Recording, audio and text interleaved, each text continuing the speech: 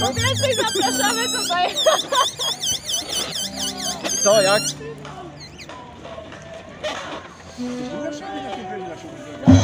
Schować się, nie obijać. Piotr, Nie obijamy się. daj ten! Daj jemu, zobaczymy jaki kolor będzie. Ale ja nie mogę. Witamy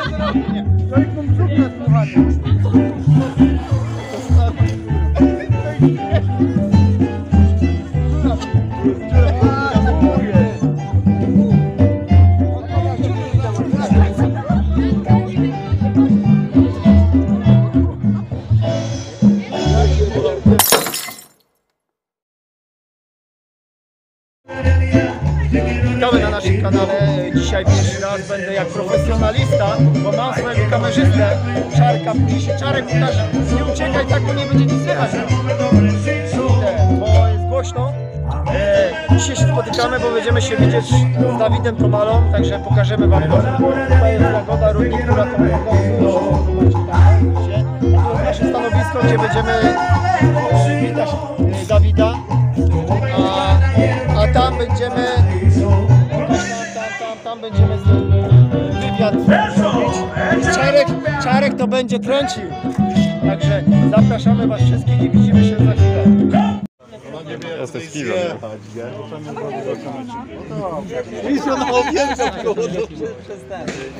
Jak tu ma zjazd? Z, z takiej kurki ona ci nie zjedzie, bo to ona się boi. Za wysoko. Sędziejemy trochę.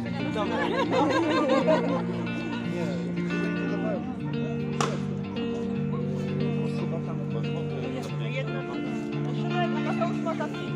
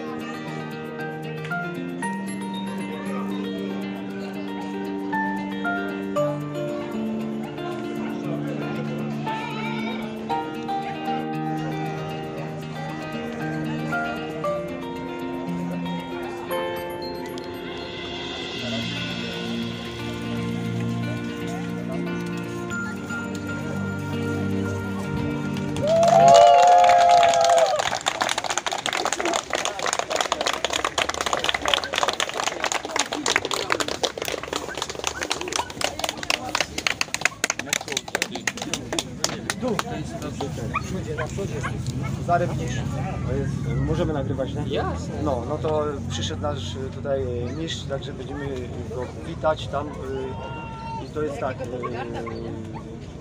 Jagoda mnie zapowie, zaraz Cię po- poznam z Jagodą, która jest tutaj główną sprawczynią tego z, deszkiem, nie? I znaczy, ona mnie zapowie, ja wyjdę i taki mały wstęp powiem, nie? I będziesz, będzie nie ty. Że ja tam znowu coś powiem, nie ostatnio nie na tym potężnie nie, nie, nie, nie Jak to. chcesz, to po prostu No. fajnie zawsze to jest, jeżeli ktoś na przykład w formie tego, że ty się mnie o coś pytasz, ja ci będę No opowiadał. to, no to może ludziom e, No, nie ma ten, problemu, nie ma problemu. Jeżeli ktoś będzie śmiały na tyle, No, to... no, to jest- zapytamy, nie jak. No dobra, gdzie jest, gdzie jest. No właśnie. No. Zobacz Cezary, ja mam medal. Zobacz. To jest mój. Oczywiście. Ale to za chwilę powiem. chwilę, wiesz? Za chwilę, wiesz? To będą ten, będzie czas, Tak. jest dla nas tutaj do 18 e, Dawid, także na pewno zdążymy. Sebastian, pochodź. Pan szybko biega? A Nie, nawet to pan chodzi, tak jak my biegamy. Pan szybko chodzi. Ten, ten pan jak przyszedł do nas na trening, nie, to szybciej szedł niż my biegli. Ja idę tylko po Jagodę, żeby, ten, żeby to jakoś, no to ona jest tutaj tą, Ona szefową jest, nie? Później pan się zamyśli. O kurczę, nie wiem, nie wiem.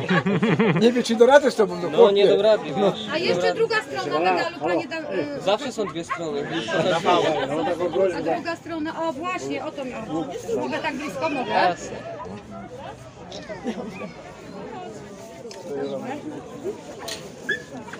Tym, na tym miejscu. Gratulacje, naprawdę serdeczne gratulacje. I bardzo dziękuję, że Pan się zgodził. Za chwilkę zaczynamy i... To Dawid siedzi, czekaj, jak nam to Ja też muszę zrobić zdjęcie. No. No. To do 18, nie? Dawid jakiś czas temu był u nas na treningu i y, biegnąc powiedział, że nie jest ostatni raz tutaj na, y, w Knurowie i słowa dotrzymał, ale tym razem jest już z medalem mistrza olimpijskiego, dlatego witamy Dawida Tomale. Dawid, zapraszamy Cię tutaj do nas, gdzie jest Twoje miejsce, mistrzu. Brawa! Brawo!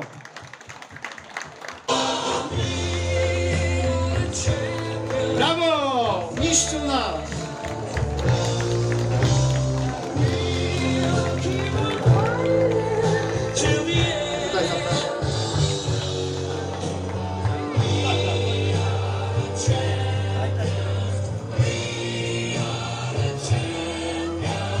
Jeszcze kwiaty dla naszego mistrza, bo zasługuje. To, co on zrobił, to jest mistrzostwo świata.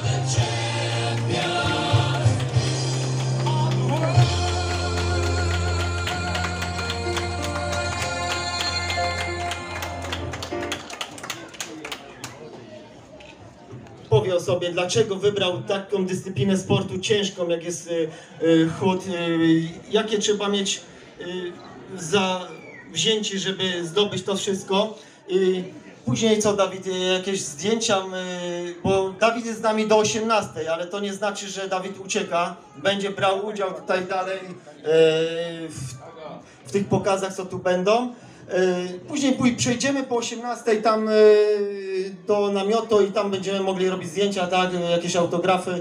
A teraz Dawid już opowie, jak to się stało, że tą dyscyplinę, jak powiedziałem, ciężką uprawia. Y, Dzień dobry, witam wszystkich bardzo serdecznie. Y, Dziękuję za zaproszenie. Tak, faktycznie chód jest ciężką konkurencją. Y, Nie jest może jakoś popularna, ale 18 lat temu mm, trafiłem do klubu pod patronatem Roberta Koźniewskiego do UKS Maraton Koźniewski Bieruń. Ja swoją przygodę zaczynałem też z bieganiem, ale tam trafiłem na moją pierwszą trenerkę, panią Katarzynę Ślezionek, która po raz drugi nauczyła mnie chodzić, tym razem sportowo. Powiedziała Dawid spróbuj, yy, zobaczysz, jeżeli Ci się spodoba, no to zostaniesz. Jeżeli nie, no to oczywiście bieganie. No tak się złożyło, że bardzo, bardzo łatwo przyszła mi ta technika tak naturalnie, jakieś tam predyspozycje widocznie miałem ku temu i no i tak zostałem tak naprawdę. Bardzo, bardzo szybki później progres wynikowy, mm, gdzie po roku czasu ja zdobyłem medal na Mistrzostwach Polski brązowy, który był takim samym zaskoczeniem jak ten, który teraz wisi na mojej szyi.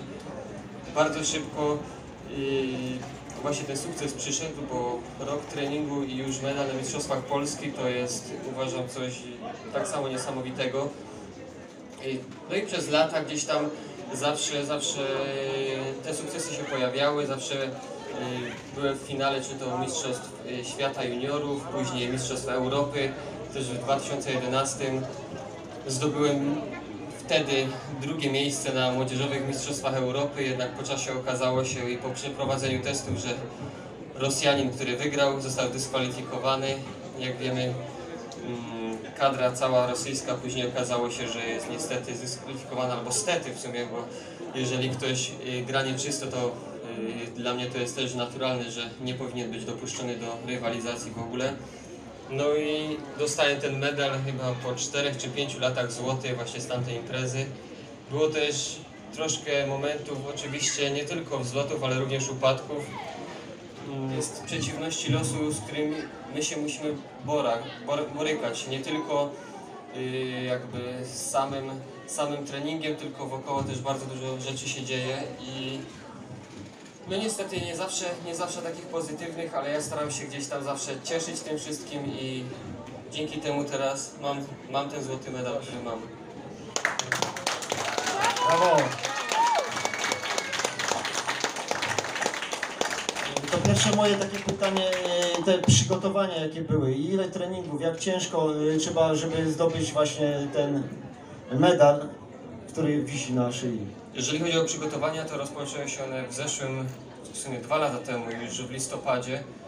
ponieważ w zeszłym roku y, chciałem już walczyć o minimum, o kwalifikacje na igrzyska. Niestety ze względu na pandemię, zaistniałą sytuację, na 5 dni przed startem na Mistrzostwach Polski dowiedzieliśmy się o tym, że tych zawodów nie będzie. Później kolejne odwoływane zawody i meetingi. No i niestety y, w połowie kwietnia dowiedzieliśmy się, że mówią nas, czyli zawodnikach startujących, o tym, że sezon jest zakończony i, i niestety musimy poczekać, aż cała sytuacja i, no, z, z pandemią i tak dalej się zakończy, więc, więc no, przeniosłem te przygotowania, oczywiście trenowałem cały czas, przy, te przygotowania do tego sezonu rozpoczęły się również w listopadzie, tak już y, pełną parą, no bo było sporo obozów tak naprawdę od stycznia już yy, akurat ja byłem poza granicami Polski ze względu na to, że u nas zima była sroga. Nie sprzyja to treningom, gdzie ja wszystkie treningi wykonuję na zewnątrz, poza jakimiś treningami na siłowni. Mm. I tak naprawdę no, większość, większość życia spędzam na obozach, bo sport jest moją pracą w tym momencie i chciałem też w 100% być pewnym, że dałem z siebie wszystko w momencie, gdy pojechałem na te igrzyska, żeby nie było takiej sytuacji, że na przykład po starcie sobie mam coś do zarzucenia, typu, że mogłem na przykład yy, pójść na jeden trening więcej, bądź yy, na przykład nie pracować po 12 godzin, tylko wtedy zrezygnować z tego, a pójść, pójść na trening. Więc yy, ja to wypełniłem i gdybym nie miał tego medalu na szyi, to i tak wiem, że zrobiłem wszystko, żeby, żeby po prostu w 100% się przygotować na maksa, jak tylko mogłem.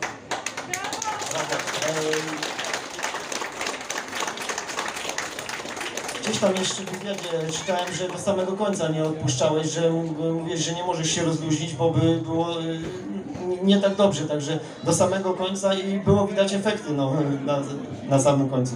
Zgadza się. Mam też coś takiego, że w momencie startu czasami ktoś, mogliście to pewnie też widzieć nieraz, jakiś sportowiec celebruje zwycięstwo zanim przekroczy linię mety. Ja bardzo tego nie chciałem, ponieważ y, wiedziałem, że może się to po prostu gdzieś tam zemścić i faktycznie to skupienie było od początku do końca. Dopiero po przekroczeniu linii mety radość, oczywiście zmęczenie, no i ta ulga, że, że to już jest po robocie i że, że, że jest to zwycięstwo upragnione. do tej olimpiady. E, Widzieliśmy e, kolarzy, którzy symulowali sobie warunki atmosferyczne trenując na trenażerze w saunie czy gdzieś tam pod prysznicem. No i chciałem zapytać, czy coś podobnego Pan sobie stosował w trakcie przygotowań? Akurat czegoś takiego nie, chociaż myśleliśmy o tym naprawdę z kolegami, żeby wrzucić bieżnię do, do sauny, ale nasze przygotowania skupiały się głównie na tym, że byliśmy na obozie wysokogórskim, gdzie, gdzie budowaliśmy formę, a następnie na dwa tygodnie przed startem pojechaliśmy do Japonii i tam aklimatyzowaliśmy się już do tych warunków i do zmiany czasu, bo wbrew pozorom muszę powiedzieć, że Zmiana czasu była dla mnie trudniejsza niż same warunki atmosferyczne, które tam panowały. Więc, więc y, no, każdy właśnie ma indywidualnie. Ja rozmawiałem też z kolegami, właśnie z drugim i trzecim zawodnikiem na tych igrzyskach i powiedzieli, że dla nich warunki tam były bardzo ciężkie.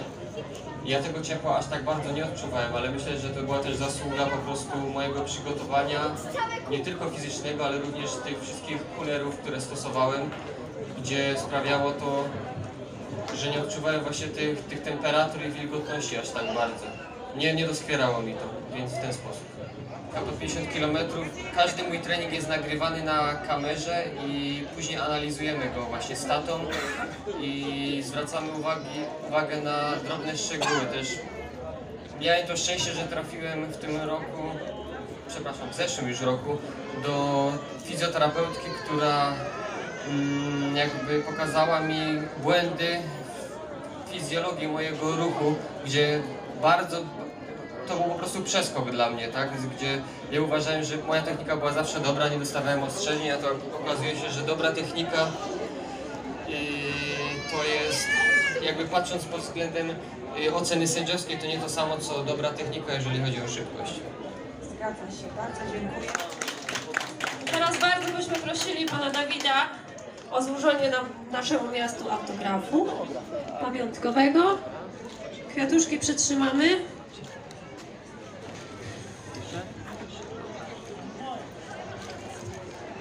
Na takie rzeczy ciężko pisze bardzo.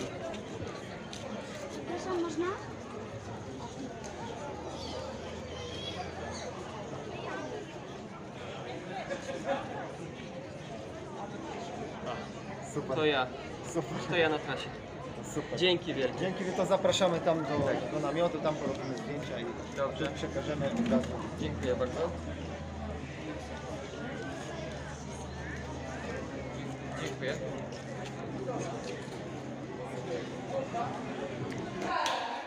To jesteśmy już po naszym wywiadzie z Dawidem, także tutaj o, jest Dawid, pije nasze soczki, bo wysłał mu w gardle, mi też. E, Ręka go boli od e, dawania autografów. Było super. Było super. Sam Dawid mówi, to dla mnie to był e, pierwszy raz. Dawid już taki mistrz, także kurczę, trochę się stresowałem, a mam nadzieję, że to fajnie wyszło i widzimy się później. No my już tutaj będziemy się posiłkować. Tak jest. Pozdrawiam serdecznie. Na razie.